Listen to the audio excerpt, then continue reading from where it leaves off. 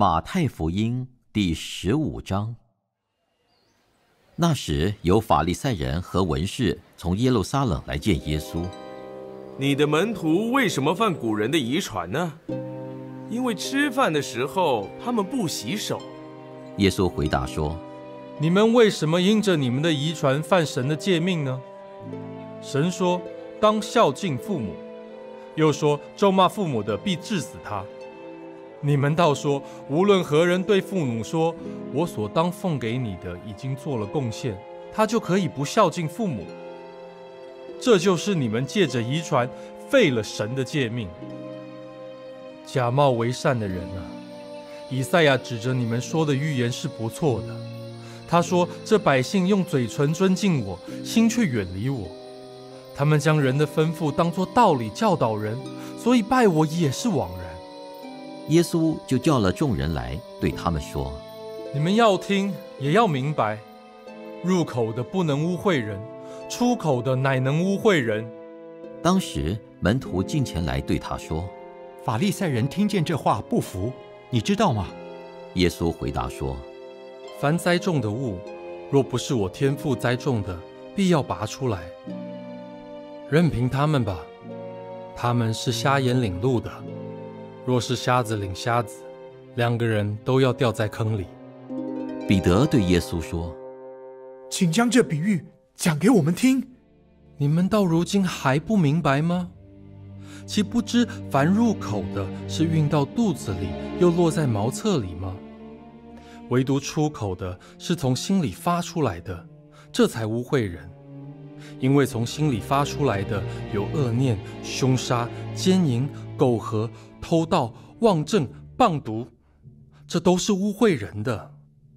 至于不洗手吃饭，那却不污秽人。耶稣离开那里，退到推罗、西顿的境内去。有一个迦南妇人从那地方出来，喊着说：“ 主啊，大卫的子孙，可怜我，我女儿。”被鬼附的甚苦，耶稣却一言不答。门徒近前来求他说：“这妇人在我们后头喊叫，请打发她走吧。我奉差遣，不过是到以色列家迷失的羊那里去。”那妇人来拜他：“主啊，帮助我。”他回答说：“不好拿儿女的饼丢给狗吃。”主啊，不错，但是狗。也是他主人桌子上掉下来的碎渣儿。夫人，你的信心是大的，照你所要的，给你成全了吧。从那时候，他女儿就好了。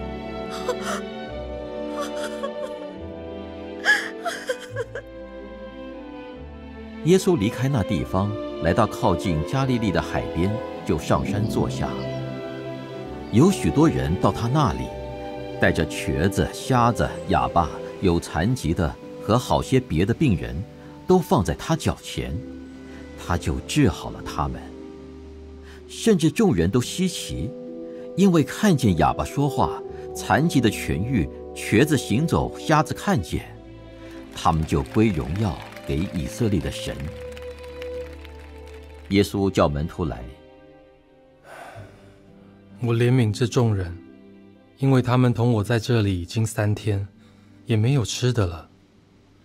我不愿意叫他们饿着回去，恐怕在路上困乏。我们在这野地，哪里有这么多的饼，叫这许多人吃饱呢？你们有多少饼？有七个，还有几条小鱼。他就吩咐众人坐在地上，拿着这七个饼和几条鱼，注谢了，擘开，递给门徒。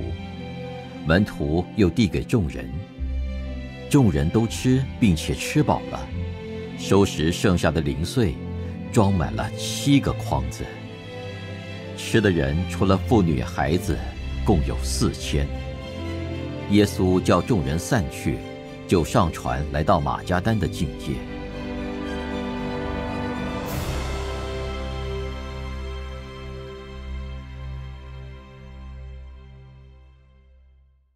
第十六章，法利赛人和撒都该人来试探耶稣，请他从天上显个神迹给他们看。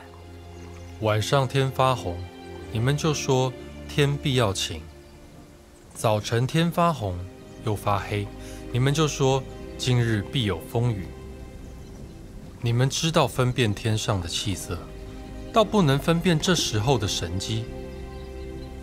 一个邪恶淫乱的世代求神机，除了约拿的神迹以外，再没有神迹给他看。耶稣就离开他们去了。门徒都到那边去，忘了带饼。你们要谨慎，防备法利赛人和撒都该人的笑。门徒彼此议论说。这是因为我们没有带饼吧？耶稣看出来，就说：“你们这小信的人，为什么因为没有饼彼此议论呢？你们还不明白吗？不记得那五个饼分给五千人，又收拾了多少篮子的零碎吗？也不记得那七个饼分给四千人，又收拾了多少筐子的零碎吗？”我对你们说，要防备法利赛人和撒都该人的笑。这话不是指着饼说的，你们怎么不明白呢？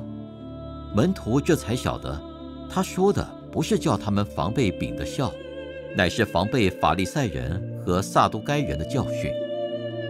耶稣到了该撒利亚腓利比的境内，就问门徒说：“人说我人子是谁？”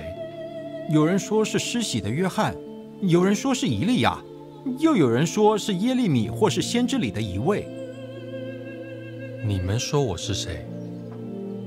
西门彼得回答说：“你是基督，是永生神的儿子。”耶稣对他说：“西门巴约拿，你是有福的，因为这不是属血肉的指示你的，乃是我在天上的父指示的。我还告诉你，你是彼得。”我要把我的教会建造在这磐石上，阴间的权柄不能胜过它。我要把天国的钥匙给你，凡你在地上所捆绑的，在天上也要捆绑；凡你在地上所释放的，在天上也要释放。当下，耶稣嘱咐门徒，不可对人说他是基督。从此，耶稣才指示门徒，他必须上耶路撒冷去。受长老、祭司长、文士许多的苦，并且被杀，第三日复活。彼得就拉着他劝他说：“主啊，万不可如此，这事必不临到你身上。”耶稣转过来对彼得说：“撒旦，退我后边去吧！你是绊我脚的，因为你不体贴神的意思，只体贴人的意思。”于是耶稣对门徒说：“若有人要跟从我，就当舍己，背起他的十字架来跟从我。因为凡要救自己生命的，必丧掉生命；凡为我丧掉生命的，必得着生命。人若赚得全世界，赔上自己的生命，有什么益处呢？”人还能拿什么换生命呢？人只要在他父的荣耀里，同着众使者降临，那时候他要照个人的行为报应个人。我实在告诉你们，站在这里的，有人在每场死位以前，必看见人子降临在他的国里。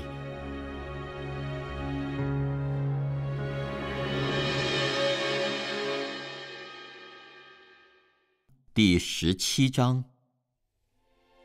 过了六天，耶稣带着彼得、雅各和雅各的兄弟约翰，暗暗的上了高山。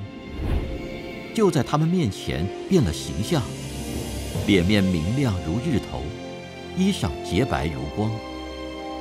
忽然有摩西、以利亚向他们显现，同耶稣说话。彼得对耶稣说：“主啊！”我们在这里真好，你若愿意，我就在这里搭三座棚，一座为你，一座为摩西，一座为以利亚。说话之间，忽然有一朵光明的云彩遮盖他们，且有声音从云彩里出来：“这是我的爱子，我所喜悦的，你们要听他。”门徒听见，就俯伏在地，极其害怕。耶稣近前来摸他们，起来，不要害怕。他们举目不见一人，只见耶稣在那里。下山的时候，耶稣吩咐他们说：“人子还没有从死里复活，你们不要将所看见的告诉人。”门徒问耶稣说：“文士为什么说以利亚必须先来？以利亚固然先来，并要复兴万事。只是我告诉你们，以利亚已经来了，人却不认识他，竟任意待他。人子也将要这样受他们的害。”门徒这才明白，耶稣所说的是指着施洗的约翰。耶稣和门徒到了众人那里。有一个人来见耶稣，跪下说：“主啊，怜悯我的儿子，他害癫痫的病很苦，屡次跌在火里，屡次跌在水里。我带他到你门徒那里，他们却不能医治他。唉，这又不幸又被谬的世代啊！”我在你们这里要到几时呢？我忍耐你们要到几时呢？把他带到我这里来吧。耶稣斥责那鬼，鬼就出来，从此孩子就痊愈了。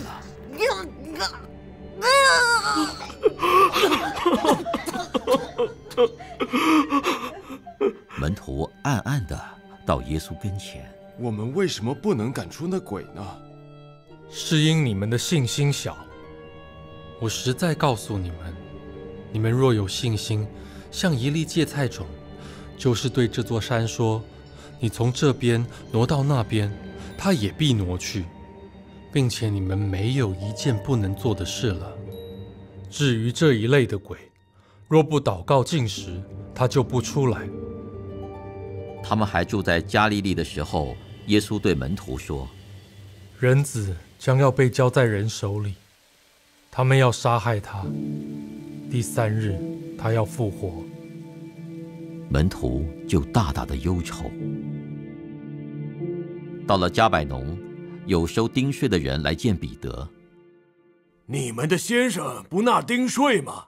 彼得说：“纳。”他进了屋子，耶稣先向他说：“西门，你的意思如何？”世上的君王向谁征收关税、丁税？是向自己的儿子呢？是向外人呢？是向外人。既然如此，儿子就可以免税了。但恐怕触犯他们。你且往海边去钓鱼，把先钓上来的鱼拿起来，开了他的口，必得一块钱，可以拿去给他们，做你我的税银。